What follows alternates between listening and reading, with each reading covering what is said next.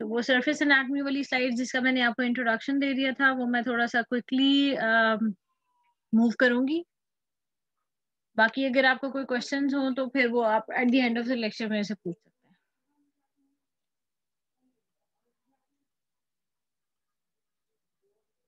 Right so arm के बारे में हमने सरफेस एनाटमी ऑलमोस्ट कर ली थी। हमने क्या आइडेंटिफाई किया था?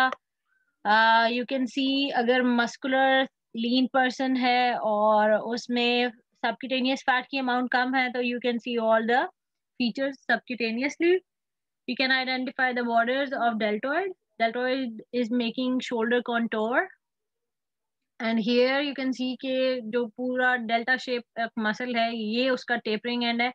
And this is the distal attachment of deltoid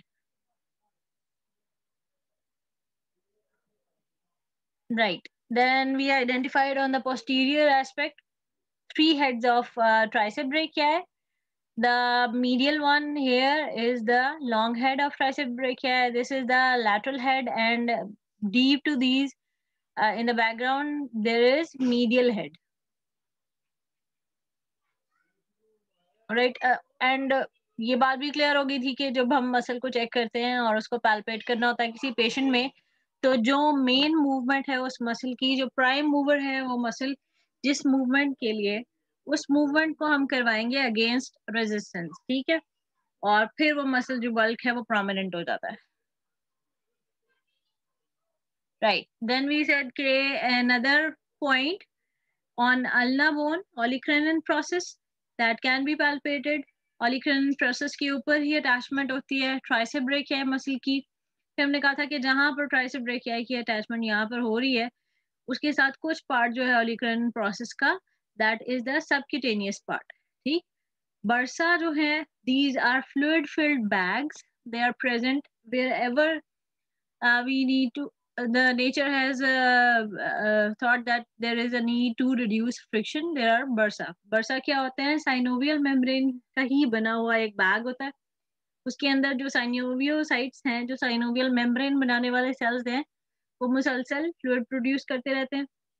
और जहाँ जहाँ फ्रिक्शन होगी, वहाँ वहाँ पे वो बर्सा होगा। तो there is a bursa here at this point skin और ऑलिक्रन प्रोसेस के दरमियान में, ठीक है? This is called subcutaneous olecranon bursa. इसके अलावा ट्राइसेप के टेंडन और ऑलिक्रन प्रोसेस के दरमियान में भी और बाकी जितने भी मसल अटैच हुए हैं, उनके टेंडेंस और बोन्स के दरमियान में भी वर्षा होते हैं। अभी इस वक्त जो है ना, वो आपको मैं बता रही हूँ। यहाँ पे you can feel specially if inflamed तो olecranon bursa subcutaneous part right tricep का tendon can be easily palpated ये आप देख लें कि देर इज़ सबटेनिनस और सब किटेनियस ऑलिक्रन बर्साइटिस ये वाला जो रीजन है, यहाँ पे इन्फ्लेमेशन होती है फ्लूड की कलेक्शन होती है, ठीक है? ये थोड़ा सा आपको ज़्यादा एनलार्ज उसका व्यू नज़र आ रहा है। Right from the anterior view what can you see again deltoid आपको नज़र आ रहा है राइट एंटीरियर एक्सिलरी फोल्ड नज़र आ रहा है, जो कि पेक्टोरालिस मेजर ने बनाना है। अब हम इस रीजन को नहीं कंसिडर करें we are considering the region of arm arm में you can see the bulge anteriorly which is the main superficial muscle bicep brachii bicep brachii के बल्ज के दोनों साइड पे you can see longitudinal grooves on skin अगर आप हाथ से palpate करके देखें तो आपको पता चलेगा कि ये एक मसल है, उसके बाद फिर इसमें एक थोड़ा सा पार्टीशन सी फील होती है। बाइसेप ब्रेकिया के बैकग्राउंड में जो मसल पड़ा हुआ है, वो ब्रेकियालिस है। लेकिन यहाँ पर ये जो आपको ग्रूव फील होता है this is basically the partition between bicep brachii and tricep brachii है। तो ये आप समझ लें कि ये जो जिसको लिखा हुआ है इसने मीडियल बाइसेपिटल ग्रूव और दूसरी तरफ़ लैटरल बाइसेपिटल ग्रूव नज़र आता है। This is demarcating the partition between the anterior compartment of arm and posterior compartment of arm front पे हमें एक्सटर्नल uh, व्यू में हमें ये नज़र आता है। इंटरनल व्यू जब हम देखेंगे जब हम स्किन और uh, बाकी स्ट्रक्चर uh, जो सब सुपरफिशियल स्ट्रक्चर्स है वो रिमूव कर देंगे तो हमें पता चलेगा कि ये डीप फेशिया का एक स्लिप है जो यहाँ डीप जाता है और वो बाकायदा इस पार्टीशन को बनाता है। वो जो स्लिप है वो जाके बोन पे अटैच हो जाता है ह्यूमरस पे तो उसके खिंचाव की वजह से भी आपको ये ग्रूव नज़र आ रहा है। So there is medial and lateral bicipital grooves we can palpate in this region, in the front of elbow, जिसको हम cubital fossa कहते हैं, we can palpate the tendon of bicep और अभी मैं अटैचमेंट जब आपको बताऊँगी तो उसके साथ ही आपको बाइसेपिटल एपिन्यूरोसिस का बताऊँगी कि बाइसेप है कि इंसर्शन एक टेंडन के साथ होती है और एक और एक्सटेंशन के साथ होती है जिसे हम बाइसेपिटल एपिन्यूरोसिस कहते हैं ठीक? और राइट बाइसेपिटल ग्रूव्स के बारे में मैंने आपको बता दिया। This is the region of cubital fossa इससे हमें जो है वो सुपरफिशियल वेन इस व्यू में अच्छी क्लियर uh, कट नज़र आ रही है ठीक है? In the region of cubital fossa you can see this vein which is called median cubital vein अब फोर आर्म के लैटरल साइड से एक वेन हैंड के लैटरल साइड से डॉर्सम से अराइज होती है which is called cephalic vein और एक और वेन जो मीडियल साइड से अराइज होती है this is called basilic vein ठीक? तो आर्म में आपको लैटरल साइड पे सिफेलिक वेन और मीडियल साइड पे बेजेलिक वेन भी स्किन में जो लीन पर्सन है और मस्कुलर पर्सन है, उनमें नज़र आ जाएगी. There is a connecting vein जो सिफेलिक वेन दोनों तरफ़ की है उनको आपस में कनेक्ट कर रही होती है right so this is called median cubital vein basically ये मीडियन क्यूबिटल वेन वो वेन है which is use for sampling IV sampling हम ब्लड सैंपल यहाँ से लेते भी हैं फिर आईवी इंजेक्शन लगाना हो वक्ती तौर पे तो फिर आ, हम यहाँ पर वो इंजेक्ट भी कर देते हैं ठीक? तो इंट्रावीनस कैन्युलेशन बेसिकली जिसको हम कहते हैं वो वाला प्रोसेस जो है ना, उसके लिए ये वेन बहुत ज़्यादा परफेक्ट है, क्योंकि ये एक तो जो है ना, यहाँ पर इन दोनों वेन्स को सुपरफिशियल वेन्स को कनेक्ट करी है और डीप ये इस तरह से जुड़ी हुई है कि ये अपनी जगह पे फिक्स्ड है। और कैसे होती है, जब हम वेन्स का टॉपिक पढ़ेंगे तो फिर आपको आइडिया हो जाएगा। लेकिन बेसिकली अभी आपने देखना है कि जो सबक्यूटेनियस या पैल्पेबल स्ट्रक्चर्स हैं आर्म के, उनमें सिफेलिक और बिजिलिक वेन भी आती है। राइट लैटरल बाइसिपिटल ग्रूव में हो गई। Cephalic vein in the lateral bicipital groove and then we have basilic vein in the medial bicipital groove. तो ये आपने सरफेस मार्किंग में ये बता दिया। फिर मैंने आपको आ, आ, ये बताना था जब हम क्रॉस सेक्शन देखेंगे तो जो मीडियल वेन है यहाँ पे जो पड़ी हुई है सुपरफिशियल वेन यहाँ से अगर हम डीप चले जाएँ after removing deep fascia we can also find the main nerves and vessels of upper limb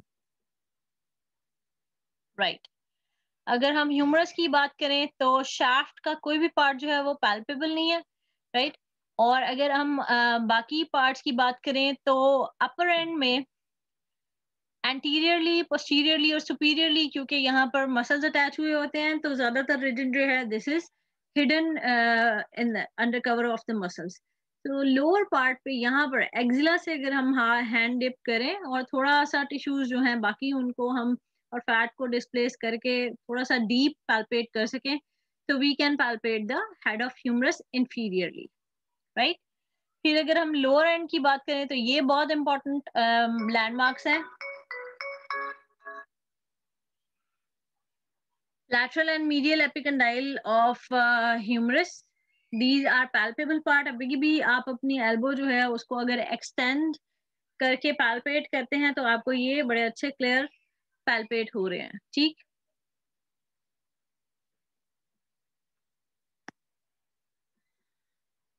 right right. Okay okay. फिर एक और इंपॉर्टेंट लैंडमार्क ये है जी के arterial pulsation we can do brachial artery pulsation in the medial bicipital group and uh, एक और important बात कि सिर्फ़ हम पल्सेशन यहाँ पे नहीं ले सकते हम यहाँ पे ब्लड प्रेशर की जो मेज़रमेंट के लिए हम जो प्रेशर uh, यहाँ पे कफ लगाते हैं वो भी यहाँ पे ब्रेकियल आर्टरी जो है ना वो उसके लिए लगाया जाता है। वन मिनट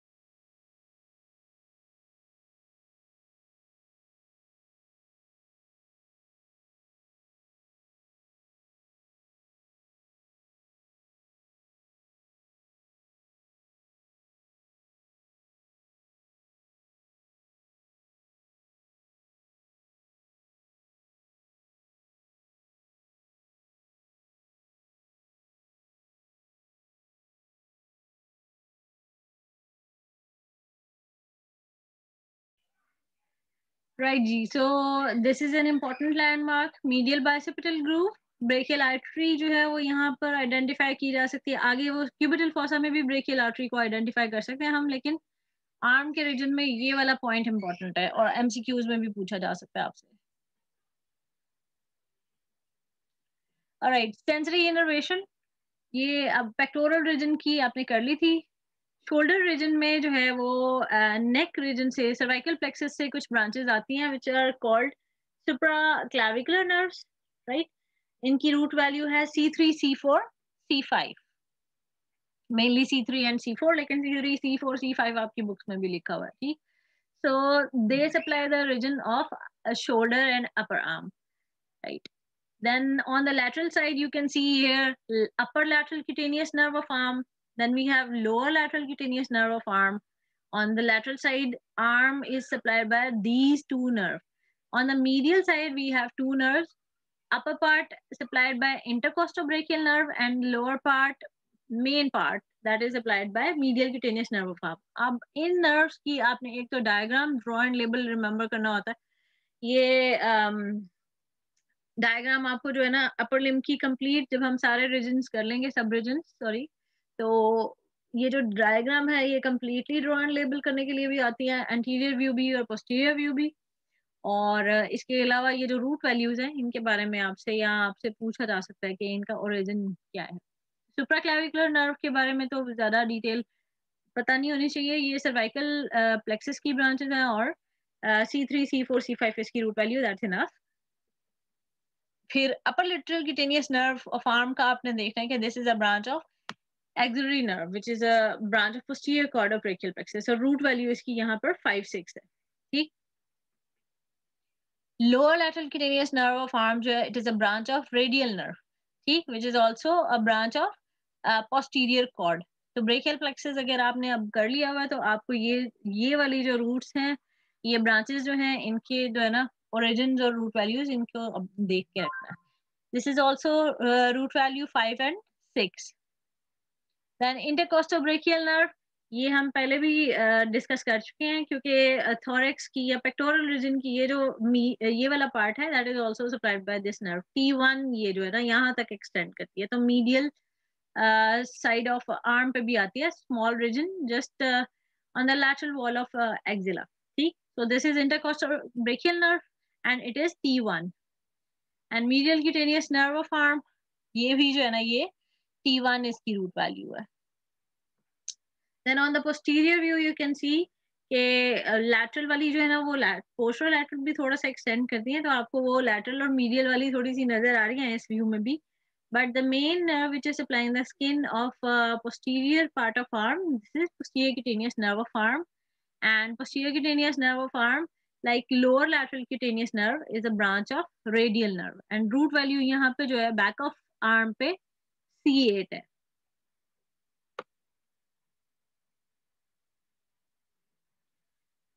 सुपरफिशियल वेन अच्छा ओके वेन्स um, जो है हम लिम्स में जब पढ़ेंगे तो there are two sets of veins deep structure में मसल्स के दरमियान में जो न्यूरोवास्कुलर बंडल पड़ा होता है ना उसमें large nerve large artery large vein पड़ी होती है ठीक है? और जिनकी ब्रांचेस फिर आगे जाके डिस्ट्रीब्यूट होती हैं. स्किन में आके जो है वो जो नर्व है उसकी क्यूटेनियस ब्रांचेस आ जाती हैं आर्टरीज की भी क्यूटेनियस ब्रांचेस वो बहुत स्मॉल होती हैं. लिम्फेटिक्स भी क्यूटेनियस होती हैं, वो बहुत स्मॉल होती हैं। लेकिन वेन्स जो है, वो कुछ वेन्स जो सुपरफिशियल स्ट्रक्चर्स को ड्रेन कर रही हैं, वो थोड़ी सी हमें विजिबल होती हैं। इसीलिए वेन जो है, उनको हम फिर टू ग्रुप्स में डिवाइड कर लेते हैं superficial group and deep group बाकी अगर हम देखें तो सरफेस एनाटमी में हमने नर्व्स और आर्टरीज को जो है, वो आइडेंटिफाई इस तरह से नहीं किया, लेकिन हमने वेन्स देखी हैं कि वो विजिबल है। तो दोज वर सुपरफिशियल वेन्स जो आर्टरी और नर्व के साथ मसल्स के दरमियान में पड़ी हुई हैं those are the deep veins तो जो आर्टरी के साथ होती हैं और आर्टीरियल ब्लड जाता है और कैपलरी बेड के बाद जो वेन्स बनती हैं उनको हम जो है वो डीप वेन्स कहते हैं. They are also called vena comitant ये आपको ये नाम बहुत ज़्यादा पढ़ने को मिलेगा के में. या फिर सिंपल uh, लैंग्वेज में जिन्हें हम अकम्पनिंग वेन्स कहते हैं. तो आर्टरी का जो नाम है, वो तो ओरिजिनली भी यूज़ होता है। जैसे अगर हम कहें कि ये एक्सलरी आर्टरी है तो उसके साथ जो वेन्स हैं, अक्सर हम उसे एक्सरी वेन नहीं कहेंगे, क्योंकि वो that those veins can be one और मोर देन वन तो इसीलिए उनको हम अकम्पनिंग वेन्स कहते हैं, या वेना कमिटेंट्स कहते हैं। Right so these are the deep veins और सुपरफिशियल वेन्स वो होती हैं कि जो स्किन के सारे स्ट्रक्चर्स को ड्रेन करने के बाद ब्लड जो है वो एट दी एंड डीप में डीप फेशिया को क्रॉस करने के बाद वो ड्रेन कर देती है। लेकिन वो सुपरफिशियल स्ट्रक्चर में होती है यानी सुपरफिशियल फेशिया में होती हैं क्यूटेनियस uh, नर्व के साथ क्यूटेनियस वेसल्स के साथ लिम्फेटिक्स uh, के साथ ठीक है? क्यूटेनियस आर्टरीज नर्व्स और जो लिम्फेटिक्स हैं they are not quite well visible लेकिन लिम्फ नोड्स और जो लार्ज वेन्स होती हैं दे आर विजिबल ठीक? तो दीज आर सुपरफिशियल वेन्स और हमने ये देख लिया, ये हम नेटवर्क पढ़ेंगे, इसको पूरे को अभी फ़िलहाल डिटेल में नहीं करना लेकिन लैटरल साइड पे जो है ना, वो हैंड वाले रीजन से जो वेन बनती है, वो सेफेलिक वेन है और मीडियल साइड पे जो है, वो बेजेलिक वेन है, ठीक?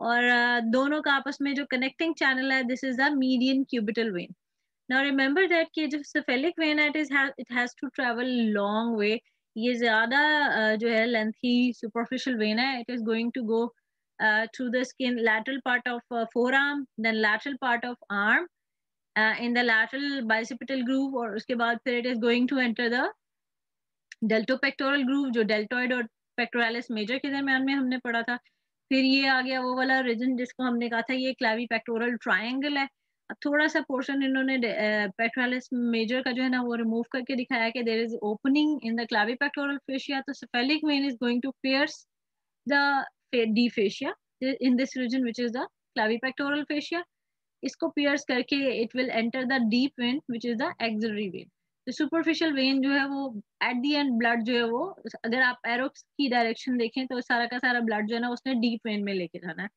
और रिवर्स uh, डायरेक्शन में लेके जाना ठीक?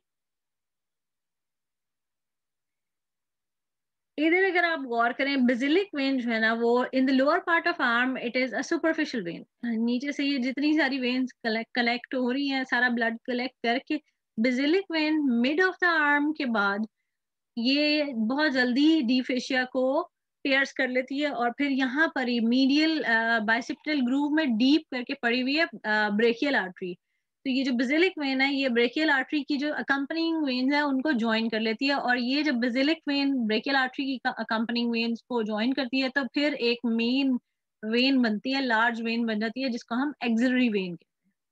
ठीक?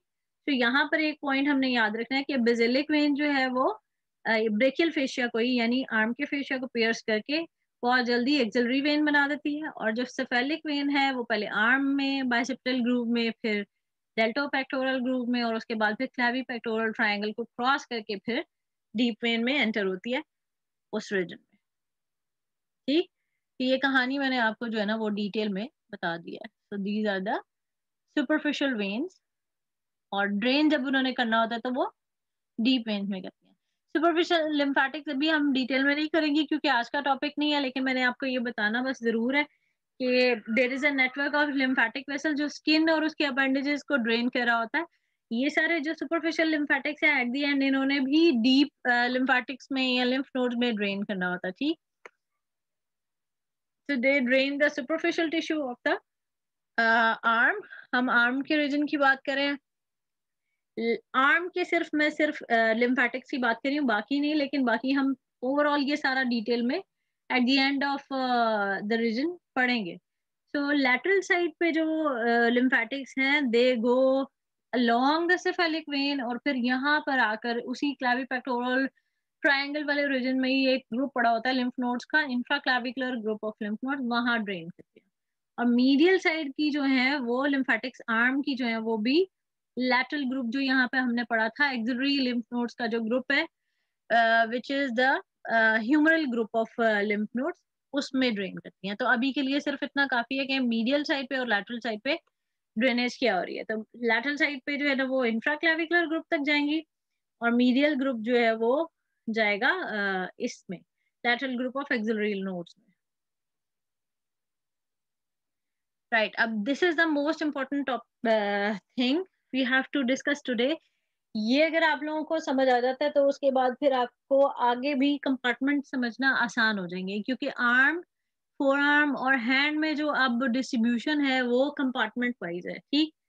क्योंकि यहाँ पर इससे पहले वाले जो रीजन थे, वो वो रीजन थे जो गर्डल वाले रीजन थे, वो चेस्ट वॉल से अपर लिम को कनेक्ट कर रहे थे तो वहाँ पर कंपार्टमेंट्स की डिवीज़न ऑटोमेटिकली बीच में, क्योंकि थोरेसिक वॉल आ गई थी तो इस वजह से हो गई थी। But here you can see के अपर ये जो आर्म है आर्म में डीप बोन पड़ी हुई है एक, और बस बाकी सारे जो है ना चीज़ें उसको सराउंड कर रही हैं।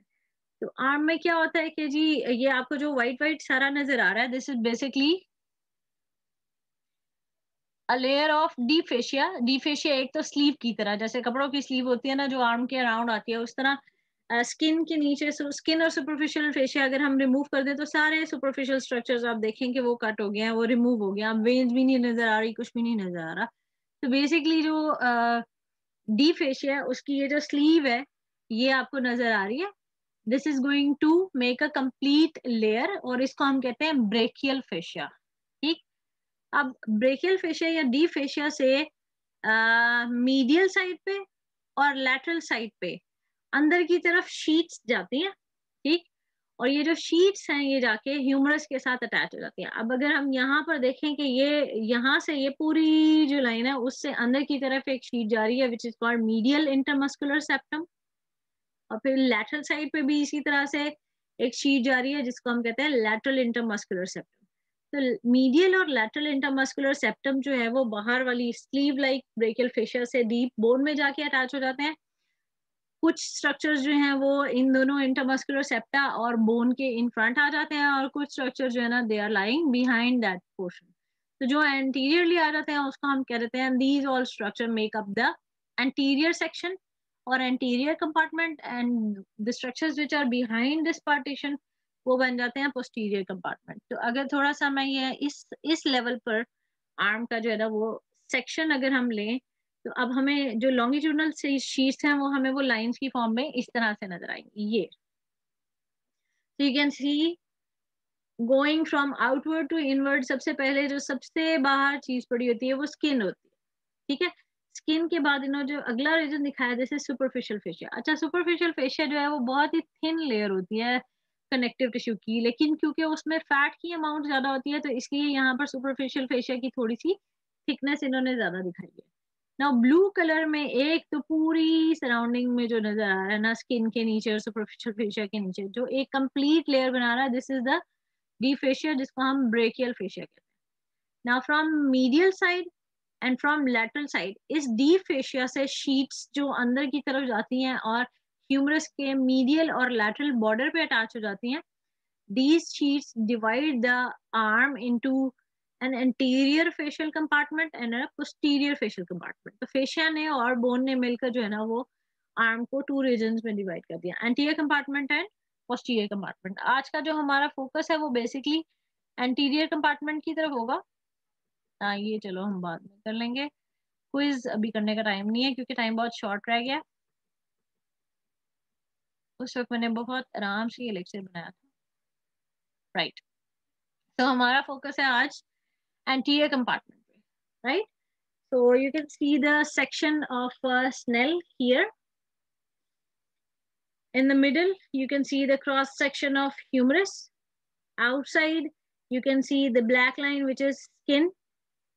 Skin के बाद ये जो दरमियान में इन्होंने स्पेस छोड़ी है इसमें मेम्ब्रेनस पार्ट तो बहुत ही थिन होता है लेकिन वो उन्होंने ग्रीन कलर में दिखाया भी नहीं है लेकिन ये जो इतनी मोटी थिकनेस है ये फैट की वजह से होती है। And you can see here कि ये एक आपको स्ट्रक्चर नज़र आ रहा है जो इस रीजन में है। तो हम कहेंगे कि ये सुपरफिशियल स्ट्रक्चर है। This is lying in the superficial fascial तो लैटरल साइड पे आपको सिफेलिक वेन नज़र आ रही है। अब थोड़ा सा क्योंकि कट जो है ना वो स्लाइटली अबव द मिडल है तो बेजिलिक वेन यहाँ पर वो सुपरफिशियल फेशिया से पियर्स करके डी फेशिया को, वो डीप आ गई है एकदम से। और अब इससे अगले वाला सेक्शन अगर हम देखेंगे, जैसे सीटी स्कैन में सेक्शन ही सेक्शन होते हैं तो इससे थोड़ा सा ऊपर वाला सेक्शन देखेंगे तो हमें ये ये दो जो ब्रेकियल आर्टरी की जो कंपनिंग वेन है, वो भी नहीं नज़र आएँगी। और बिजलिक वेन इन तीनों ने ज्वाइन करके एक वेन बना देनी है अगले अगले लेवल पर, वो हो जाएगी एक्सिलरी वेन तो इससे ऊपर वाला अगर सेक्शन लेंगे तो यहाँ पर एक एक्सिलरी वेन आपको बस नज़र आएगी और एक्सिलरी आर्टरी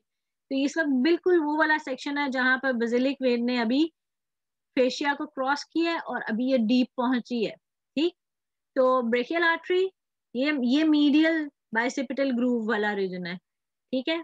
तो ये लैटरल बाइसेपिटल ग्रूव वाला रीजन है। मैंने आपको बताया था कि मीडियल और लैटरल बाइसेपिटल ग्रूव इस तरह से भी बनते हैं कि मसल का बल्ब जो है वो प्रोमिनेंट हो जाता है और फेशिया अपनी जगह पे खिंचा हुआ ही रहता है। तो वो स्किन भी जो है ना वो साथ ही उसको खींच के रखता है तो वहाँ पर ग्रूव आपको नज़र आता है एक्सटर्नली राइट तो this is medial intermuscular septum lateral intermuscular septum उसके फ्रंट पे आपको जो मसल नज़र आ रहे हैं these are the muscles of anterior compartment फिर आपको ये मीडियल साइड पे जो है वो जो न्यूरोवैस्कुलर बंडल नज़र आ रहा है this is the main nerves and artery supplying the anterior compartment और कुछ स्ट्रक्चर्स जो है वो जस्ट पास कर रहे हैं इस compartment All right. We right. There are three muscles: bicep brachii, brachialis, and coracobrachialis, which are the contents of anterior facial compartment. ठीक तो ये जो superficial एक muscle नज़र आ रहा है just under the skin and deep fascia जिसका bulge भी हमने देखा था this is bicep brachii. उससे डीप बैकग्राउंड में जो मसल पड़ा हुआ है जो बाइसेप को रिमूव करे तो हमें नज़र आता है वो ब्रेकियालिस है कोरेको ब्रेकियालिस इसलिए हमें यहाँ पे नज़र नहीं आ रहा यहाँ पे हो सकता है कि किसी बुक में बल्कि बना भी हुआ है एक बुक में, बस ग्रीन सा एक छोटा सा उन्होंने डॉट लगा के कोरेको ब्रेकियालिस है, क्योंकि इस लेवल पर आके कोरेको ब्रेकियालिस इंसर्ट हो चुका होता है। तो इस सेक्शन में कोरेको ब्रेकियालिस आपको इसलिए नहीं नज़र आ रहा, ठीक? और ब्लड वेसल्स जो हैं, जो इस कंपार्टमेंट की हैं, वो है ब्रेकियल आर्टरी और उसकी अकम्पनिंग वेन नर्व जो मेन है which is going to supply the muscles and structures of anterior compartment this is the musculocutaneous nerve और हमें पता है वो लैटरल कॉर्ड की ब्रांच है। बाकी जो स्ट्रक्चर हैं, वो जस्ट पास कर रहे हैं, ठीक? तो मस्कुलर किटेनियस नर्व के अलावा जो स्ट्रक्चर इसमें से सिर्फ़ पास कर रहा है, लेकिन यहाँ पर किसी चीज़ को सप्लाई नहीं कर रहा, वो ये मीडियन नर्व है, ठीक है? अल्ला नर्व भी पास करती है, वो यहाँ पर इन्होंने अभी शो नहीं की शायद, या वो क्रॉस कर गई है बाद में, ठीक है? चले जी ब्रेकियल आर्टरी और बिजेलिक वेन भी आपको नज़र आ रही है तो ये सारा अनदर सेक्शन ये आपकी बुक है, या आप इसको एक दफ़ा थोड़ा सा आ, देख लीजिएगा थोड़ा सा आपको डिफरेंस नज़र आया अब ये थोड़ा सा क्योंकि लोअर लेवल पर सेक्शन है तो ये देख लें बेजिलिक में अभी भी आपको सुपरफिशियल फेशिया में नज़र आ रही है। तो सुपरफिशियल का ये ग्रे मेम्ब्रेनस पार्ट उन्होंने दिखाया बाकी येलो येलो जो है वो फैटी पोर्शन दिखाया। उसमें ये मीडियल साइड पे उसने बेजिलिक वेन जो है ना सुपरफिशियल फेशिया में दिखाई है और डीप जो पड़ी हुई है वो आपको ब्रेकियल आर्टरी और वेन नज़र आ रही है। सिफेलिक लेटरल साइड पे जो है ना वो आहिस्ता आहिस्ता आहिस्ता आहिस्ता अपनी जगह बदल रही होती है तो सिफेलिक वेन जो है ना वो आपको ये लेटरल साइड पे नज़र आ रही है, ठीक है? और इंटरमस्कुलर सेप्टा भी नज़र आ रहे हैं, ये लेटरल इंटरमस्कुलर सेप्टम है, ये जो दरमियान में लाइंस हैं, ये इस वजह से है कि जो डी फेशिया है, वो मसल को कम्प्लीटली एनसर्कल भी करता है, वो थिन लेयर्स होती हैं जो मसल्स को भी एनसर्कल करती हैं, एक पूरी स्लीव भी बनानी है इसने यहाँ ब्लड वेसल्स को भी जो है ना वो एक दफ़ा सराउंड करना है डी फेशिया ने और जो सेप्टा होते हैं वो ज़्यादा थिक होते हैं थिकर वर्जन होती हैं जो कि विजिबल होती हैं। राइट सो अब हमारा थोड़ा सा काम रह गया। Just we are going to discuss the attachments of muscles of anterior compartment और उसके बाद जो वेसल्स और नर्व्स uh, होंगी वो आगे डिटेल में किसी और लेक्चर में करनी है ठीक है? So first muscle is the bicep brachii क्या है यू कैन सी बाइसेप्स का मतलब है बाइसेप्स टू हेडेड तो ये आपका फ्यूजीफॉर्म बेली वाला जो एक मसल है, ये टू हेडेड है. इसका ओरिजिन जो है it it has two heads this one जो कि सुप्राग्लिनोइड ट्यूबरकल से ओरिजिनेट कर रहा है, और शोल्डर जॉइंट के सुपीरियरली ये कैप्सूल के अंदर से होता हुआ ये पास करके ये यहाँ पर आ रहा है. This is the long head of brachii from supraglenoid tubercle then you can see coracoid process से जो आ रहा है, ये शॉर्ट हेड है बाइसेप ब्रेकिया का ये दोनों हेड्स जो हैं, वो आकर फिर ये बेली वाले पार्ट को आपस में ज्वाइन कर देते हैं एक कॉमन मसल बन जाता है विच इज़ बाइसेप ब्रेकिया और बाइसेप ब्रेकिया की इंसर्शन फिर आपको ये नज़र आ रही है So, origin long head from supraglenoid tubercle of short head from tip of coracoid process. Right? बहुत ही इंपॉर्टेंट बात ये है कि ये जो लॉन्ग हेड है this is in intracapsular intracapsular का क्या मतलब है? कि सुप्राग्लिनोइड ट्यूबरकल से जब मसल ओरिजिनेट करता है तो वो जो टेंडन है लॉन्ग हेड का मतलब ये वाला पॉइंट भी टेंडनस होता है ओरिजिन का, ये भी इंसर्शन वाला पॉइंट भी टेंडनस है, दरमियान में मसल वाला पार्ट ना। तो ये जो, ये पॉइंट से ये जब ये ओरिजिनेट करता है मसल तो वो कैप्सूल के अंदर पड़ा होता है शोल्डर ज्वाइंट के। और फिर शोल्डर ज्वाइंट के कैप्सूल में यहाँ पर बाइसिपिटल ग्रूव वाले रीजन में एक ओपनिंग होती है और उससे ये टेंडन बाहर आता है। अब जब ये टेंडन बाहर आ रहा है तो उसके ऊपर ही शोल्डर ज्वाइंट की जो साइनोवियल मेम्ब्रेन की लेयर है, वो भी थोड़ी सी इस ओपनिंग में से स्लिप करके बाहर आ जाती है। ठीक? वो इस वजह से भी स्लिप करके बाहर आ जाती है कि इस रीजन में ये, क्योंकि ये एक एंगल पर टर्न कर है, थोड़ी सी फ्रिक्शन को कम करने के लिए। ठीक? तो इसको हम यहाँ पर साइनोवियल शीथ कह देते हैं। बेसिकली ये वही साइनोवियल मेम्ब्रेन है जो शोल्डर जॉइंट के कैप्सूल के अंदर लाइनिंग बना रही होगी। लेकिन उसको क्योंकि वो बहुत ही स्लिपरी होती है फ्लूड फ़ील्ड होती है तो उसको यहाँ पर ओपनिंग मिली तो वो यहाँ से स्लिप करके बाहर आ गई। अब ये स्लिप की हुई जो है ना डबल लेयर टेंडन के इर्द गिर्द, इसको हम कह देते हैं साइनोवियल शीथ ऑफ़ बेटा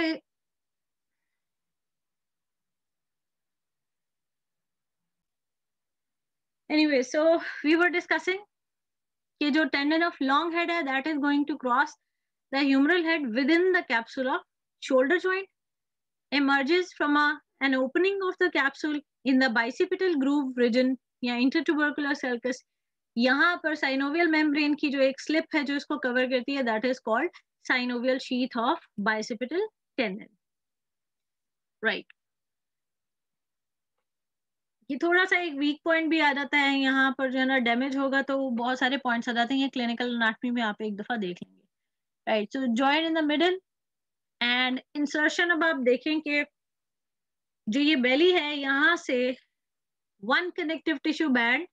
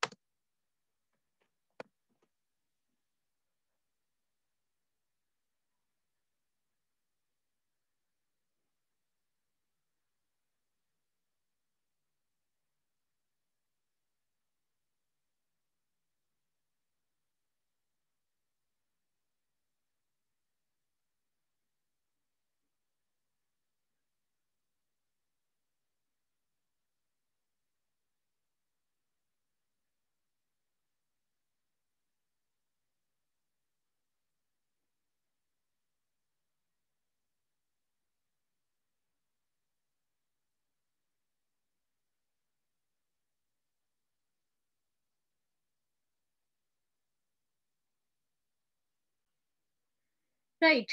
तो जब हम इस मसल की इंसर्शन की बात करते हैं बेटा अगर अब आप लोगों को अभी कंफ्यूजन हो रही है इस um, चीज़ को समझने में तो when I will show you models और थोड़ा सा आप डिफरेंट डायग्राम्स देखेंगे अपने नेटर्स की अपने